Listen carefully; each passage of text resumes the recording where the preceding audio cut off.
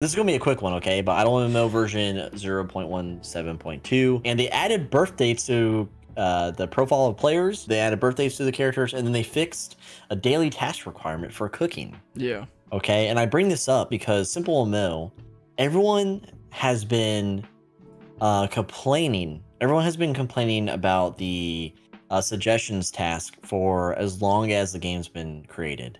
And if you're gonna fix the daily task and Idle MMO, please, for the love of goodness gracious, do the same thing for Simple MMO and get rid of the freaking suggestion task. I hope that they add like reduce um the market purchases. Because uh, like I get it like we could like I between my my alt and my main I am transitioning a lot of items through uh especially like all the fish.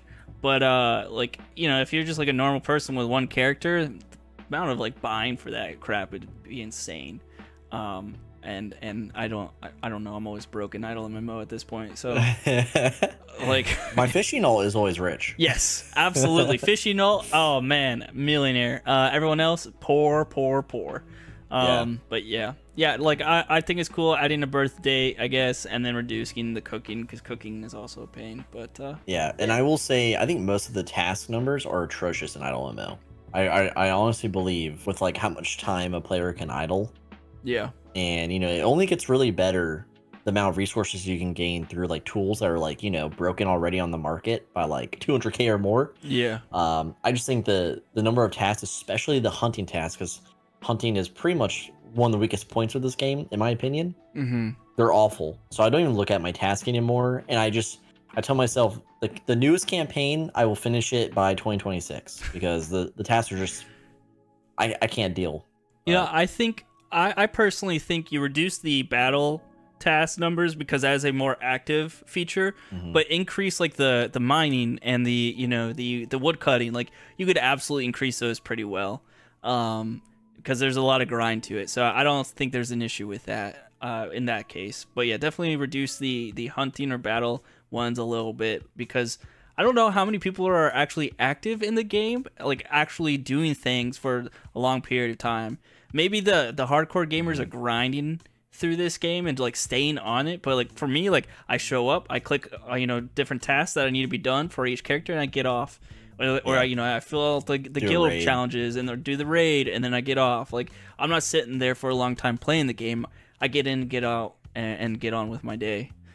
Yeah, Okay, well, that's it for Idle MMO's update. Uh, right. When you're ready, Crazy Fi, let's move on to Ironwood RPG because it's huge. Yeah. It's huge news. It's huge news. It's huge like us. Hey. I... All right, everyone. Here we go. We have Iron, the latest from Ironwood RPG, and we're at version 0.14.2. And why is this such a big update? They've added a release to the game. So it's been in public testing this whole time. It's gone it's undergone uh, a huge amount of changes in this phase. Mm-hmm. And now they've added a release date. So the dev said Ironwood RPG will be coming out of alpha into a full release uh, on July 6th this year. So they're in a couple weeks, a couple days after the Simple MMO community uh, event ends. Player progress will be wiped on this date, leaving only the name of the account. Players who reach a total of 10, 50, and 100 million total EXP will receive a badge based on their progress.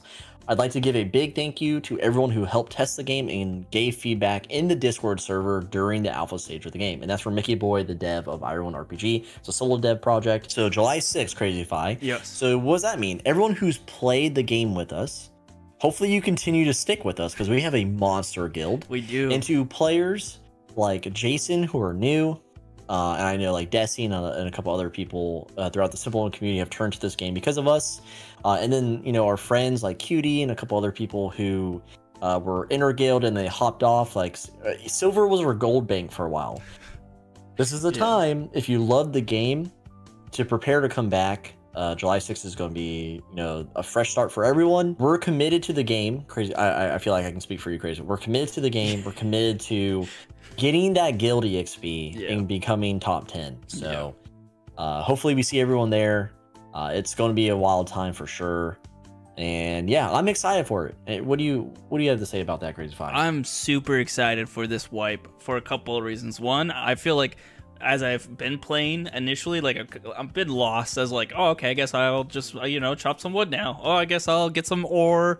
Oh, what's this alchemy? That's cool. I'll let me play around with that for a little bit, you know.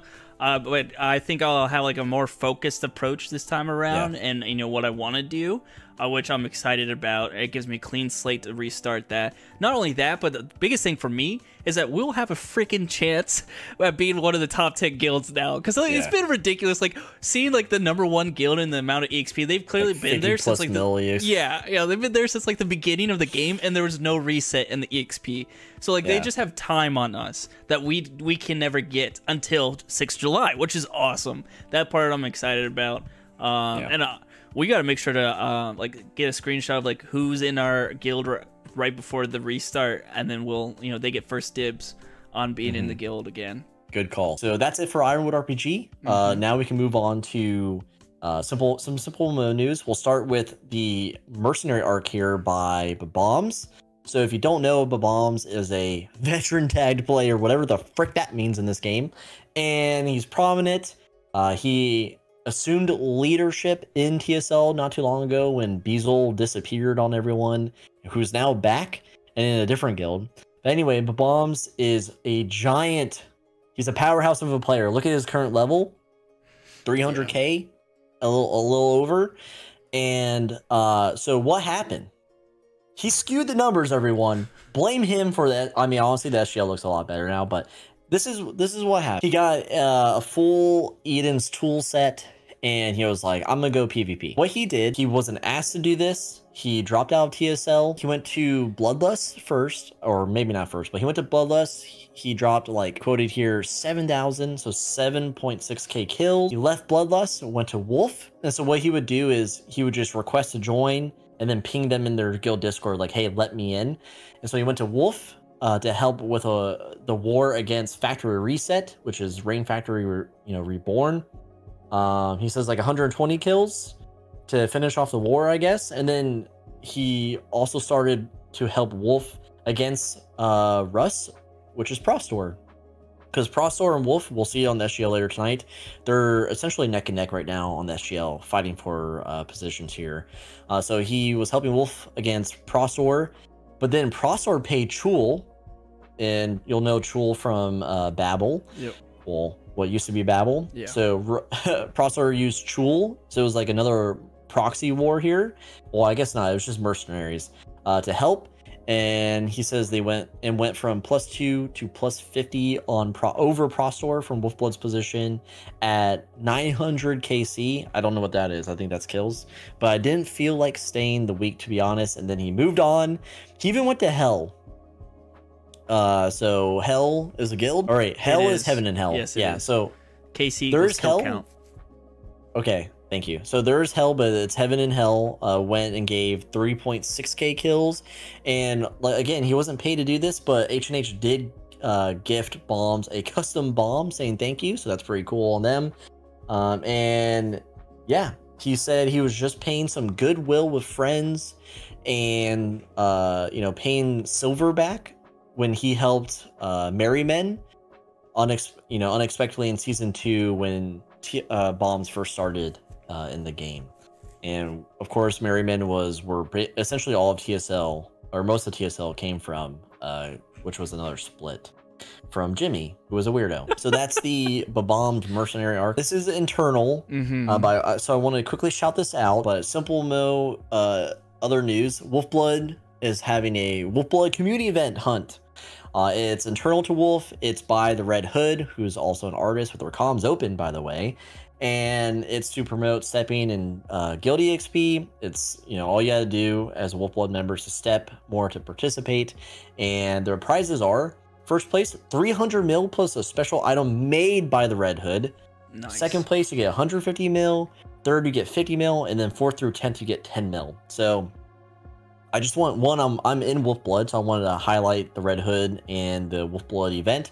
But also, I feel like a lot of guilds do this uh, to keep people interested in you know uh, events within Simple Mill. Especially, I mean, Crazy and I we were just talking about this offline. Mm-hmm. How the community event is so long the hype dies out within like the first couple of days when the tools are all grabbed and you know yada yada. Yeah. But I feel like a lot of guilds take the time and care to do these internal um, events to promote more activity throughout the entirety of the event, uh, the event's length. So shout out to the Red Hood and shout out to the Wolfblood community.